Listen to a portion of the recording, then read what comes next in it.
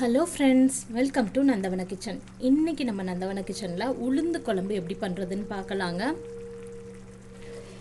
இந்த உளுந்து குழம்பு வந்து நம்ம எப்போவும் சாம்பார் பண்ணி உங்களுக்கு புளிக்குழம்பு சாம்பார்னு பண்ணுறதுக்கு பதிலாக உளுந்து குழம்பு பண்ணிங்கன்னா ரொம்பவே நல்லாயிருக்கும் கொஞ்சம் டிஃப்ரெண்ட்டாகவும் இருக்கும். உளுந்து வந்து ரொம்ப நோய் எதிர்ப்பு சக்தி கொண்டது. பெண் குழந்தைங்களுக்கு ரொம்ப நல்லது உளுந்து. ரொம்ப டேஸ்டியாகவும் இருக்கும். இப்போ எப்படி பண்ணுறதுன்னு பார்க்கலாம். என்னென்ன தேவையான பொருட்கள் பார்த்துக்கலாங்க. பாதி கப் கருப்பு உளுந்து.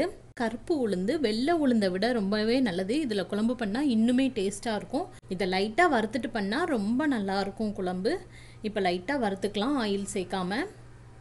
ஃபஸ்ட்டு கடாயை சூடு பண்ணிவிட்டு நம்ம எடுத்து வச்சுருக்கிற உளுந்து அதில் சேர்த்துக்கலாம்.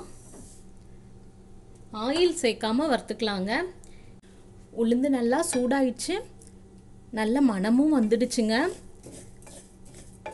அவ்வளோதான் இப்போ வந்து இதை வேறு பாத்திரத்துக்கு மாற்றிக்கலாம் நான் அப்படி குக்கரில் இன்றைக்கி வந்து ரெண்டு விசில் வைக்க போகிறேன் உளுந்த. அதனால் குக்கரில் சேர்த்துட்டு ரெண்டு டைம் அலசிக்கலாம் உளுந்த.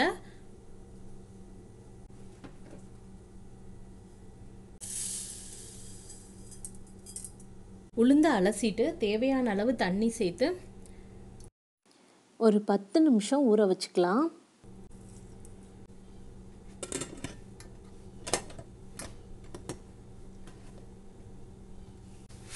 குக்கரில் ரெண்டு விசில் வச்சு எடுத்துக்கலாங்க.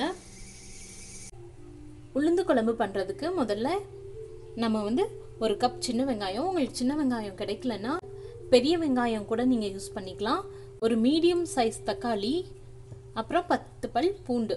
இந்த மூணையும் வந்து நம்ம குட்டி குட்டியாக கட் பண்ணி வச்சுக்கலாம். அப்புறம் ஒரு சின்ன எலுமிச்சை அளவு புளியை வந்து ஊற வச்சுக்கலாம்.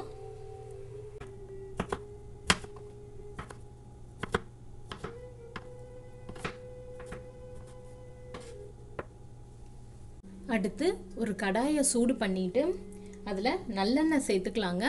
நல்லெண்ணெய் தான் வந்து இந்த உளுந்து குழம்புக்கு ரொம்பவே நல்லா இருக்கும். மூணு டேபிள் ஸ்பூன் சேர்த்துருக்கேன். கடுகு.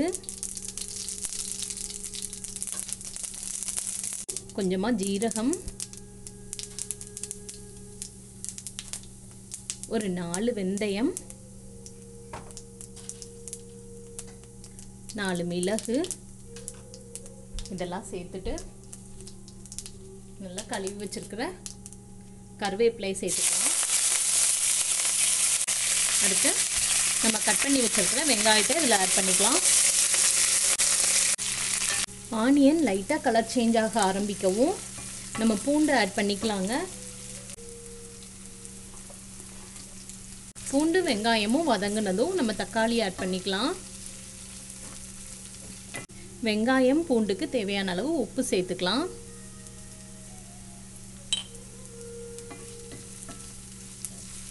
வெங்காயம் பூண்டு இப்போ நல்லா வதங்கிடுச்சு. இந்த டைமில் தக்காளி ஆட் பண்ணிக்கலாம்.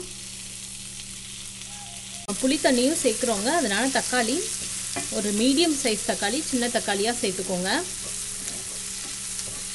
தக்காளி சேர்த்ததுமே கொஞ்சமாக மஞ்சள் தூள் கால் டீஸ்பூன் மஞ்சள் தூள் தக்காளி நல்லா மசிஞ்சு வர அளவுக்கு மூடி வச்சு குக் பண்ணிக்கலாம்.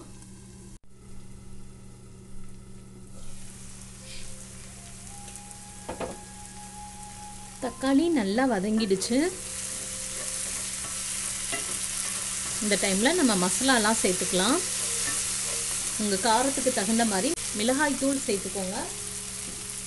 நான் இன்னைக்கு ஹாஃப் டேபிள் ஸ்பூன் சேர்த்துருக்கேன். சாம்பார் தூள். இது வந்து வீட்டில் அரைச்ச சாம்பார் தூளுங்க. இந்த சாம்பார் தூள் எப்படி பண்ணுறதுங்க லிங்க் வந்து கீழே தரேன். உங்களுக்கு தேவைப்பட்டால் பார்த்துக்கோங்க. அடுத்து புளியை நல்லா கரைச்சி தண்ணியை சேர்த்துக்கலாம். புளி தண்ணியை சேர்த்துக்கலாம்.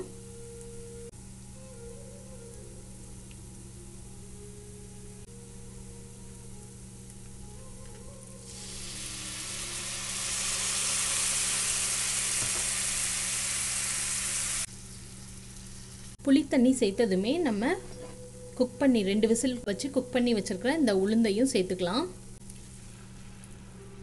இந்த குழம்பு வந்து கருப்பு உளுந்தில் பண்ணுறது தாங்க டேஸ்ட்டே ஹெல்த்தியும் கூட. குழம்புக்கு தேவையான அளவு தண்ணி சேர்த்துக்கலாங்க.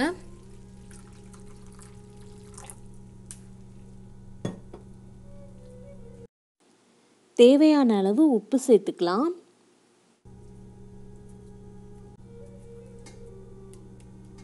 இப்போ உளுந்து வந்து நல்லா மசிஞ்சு வரணும். அந்த அளவுக்கு குக் ஆகிக்கிடட்டும். மூடி வச்சு குக் பண்ணிக்கலாம்.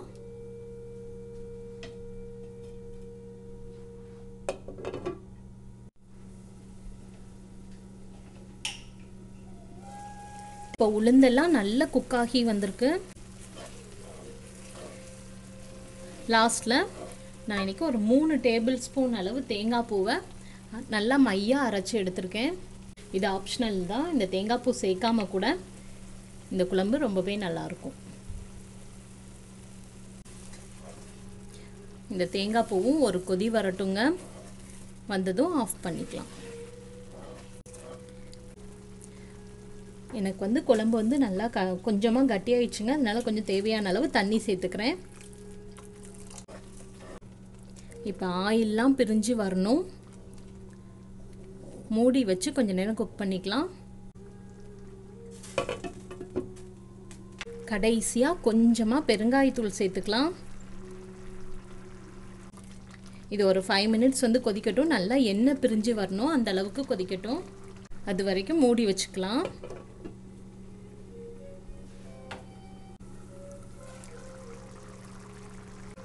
பாருங்கள் ஆயில் நல்லா பிரிஞ்சு வந்துடுச்சு.